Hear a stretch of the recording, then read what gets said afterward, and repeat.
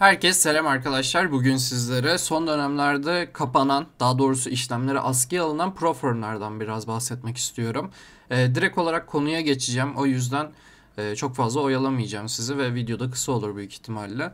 Öncelikle bu pro firmlerin kapanması bildiğiniz gibi MyForex Funds olayıyla başlamıştı. MyForex Funds olayını eğer bilmiyorsanız sağ üstte çıkan kartlardan videomu izleyebilirsiniz ve orada hala daha e, yeni gelişmeler olmadığı için e, yeni video çekmedim onunla alakalı. Sadece MyForex Fund CEO'sunun bir kısım parası Amerika'da açıldı. Ancak şirketin geri kalan parası hala da kitli bir şekilde e, Amerika'nın elinde duruyor. Amerikan bankalarında.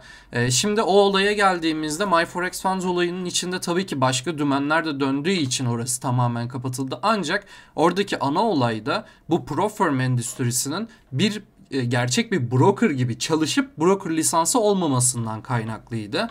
E, normalde büyük prop firm şirketleri e, mesela FTMO veya True Forex Funds gibi firmalar teknoloji firması adı altında geçiyor. Yani şirketlerinin kategorisi teknoloji firması olarak.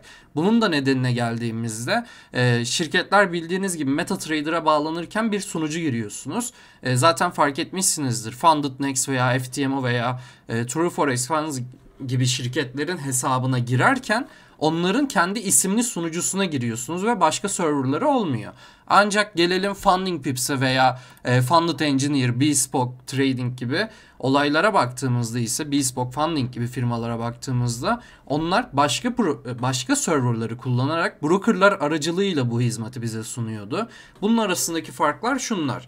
E, onlara üçüncü parti likitte sağlayıcısı deniyor. Bu olay da kendi teknolojisini geliştirmeyen firmaların hali hazırda e, bir sistemleri bulunan brokerlara e, belli ücretler karşılığında serverlarını kiralama şeklinde düşünebilirsiniz. E, burada MetaTrader'ın firması MetaQuotes Amerika'nın yaptırımları üzerine pro firmleri teker teker askıya almaya başladı.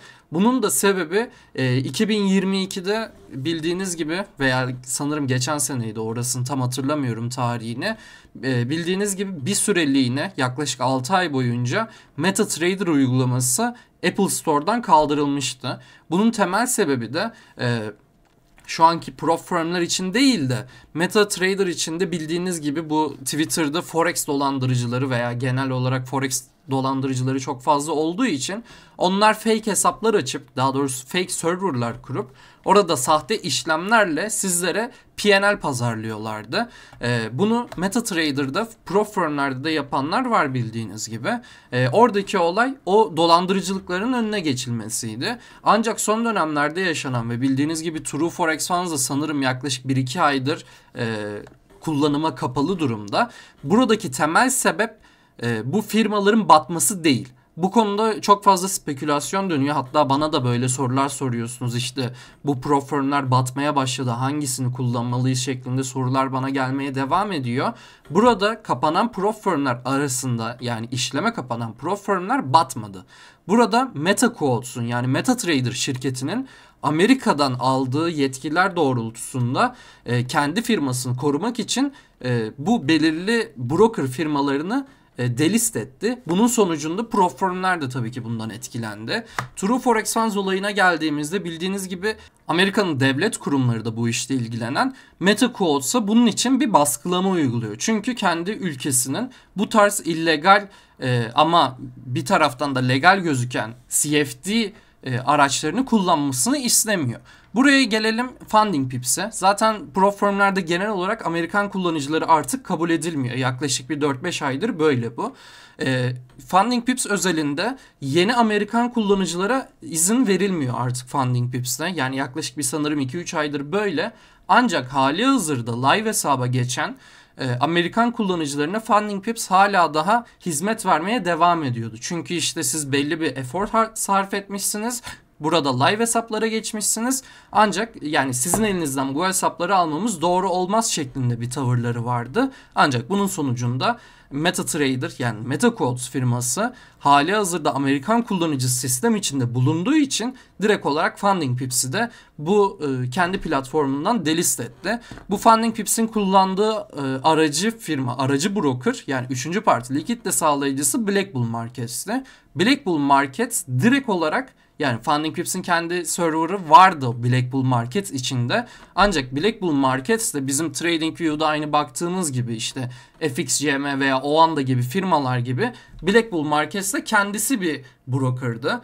Direkt onların firması delist edildiği için e, Black Market zorunlu olarak Funding Pips'i kendi serverlarından kaldırma kararı aldı. Şu anda zaten ekranda gördüğünüz Twitter hesabı Funding Pips'in CEO'sunun hesabı. Burada ilk kapanma olduğunda zaten Black Bull Market'in CEO'suyla konuşmalarını da burada göstermişti. Orada aramızda herhangi bir problem yok.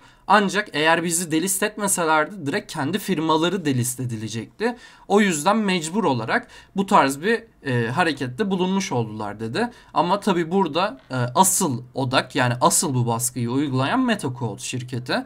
E, sonrasında şu anda zaten hala daha çalışmalar devam ediyor. Bildiğim kadarıyla True Forex Funds ve Funded Engineer bu hafta veya sonraki hafta yani video çekildiği tarihte Şubat'ın sonuna doğru tekrardan sistemlerini aktif etmeyi planlıyorlar. Ancak tabii ki burada yine gecikmeler devam edebilir. Funding Pips'e de yine aynı şekilde hatta şu anda bu Funding Pips'in CEO'su Khaled e, daha yeni yeni platformdan arayüzleri vesaire de gösterdiler. Buradaki zaten arayüze bakarsanız şu anda CryptoFund Trader'ın kullandığı e, aracı firmayı kullanıyorlar burada.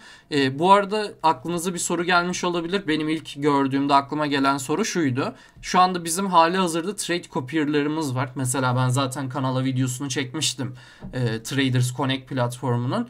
O Traders Connect'te şu anda sadece MetaTrader var. Ancak diğer firmaları da getirmeye çalıştıklarını kendi firması söylemiş durumda. Yani orada da yeni bir güncelleme olursa ben de tekrar yeni videoyu çekerim zaten. Şu anda bu şekilde devam e, nasıl diyeyim gelişmeler devam ediyor. Zaten burada Khalid'in dediğine de bakarsanız Funding Bits ve Funding Tix isimli iki tane de lisanslarını şu anda e, almaya hazırlanmışlar zaten.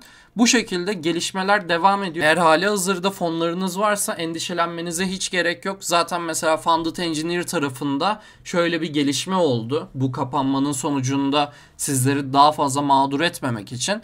Eğer Şubat ayında hesabınızda bir işlem aldıysanız ve hala daha challenge aşamalarındaysanız ve hesabınız zarardaysa eğer zarar miktarı fark etmeksizin tekrardan Funded Engineer açıldığında Şubat ayında işlem alan tüm traderların hesapları yine başlangıç bakiyesine dönecek. Benim de hesabım mesela eksideydi ve bu gelişme sonucunda e, sıfır olarak yani daha yeni başlamış gibi hesap vereceklerini bizlere söylediler. Eğer funding aşamasındaysanız yani live aşamadaysanız da sizin hesabınıza ekstra %1 drawdown ekleniyor. Bu ne demek oluyor? Sizin maksimum kaybedebileceğiniz miktar bildiğiniz gibi %10.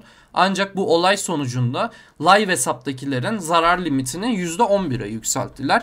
Bu şekilde bir e, telafileri oldu diyelim. Tabi daha firmalar açılmadı. Açıldığında da Twitter'ımdan yine duyurularını geçerim. Şu an olarak gelişmeler bu şekilde. E, Funding Pips de kendisi bu tarz bir şey yapacağını söylüyor. Yani zararlarınızı veya açık olan pozisyonlarınızı e, telafi etmek amacıyla bu tarz gelişmelerde e, bulunacaklarını söylüyorlar. Ancak daha bunlar belli değil tabii ki. Tekrardan trade'ler açılsın. Ondan sonra biz de bunlara göreceğiz nasıl gelişmeler geldiğini.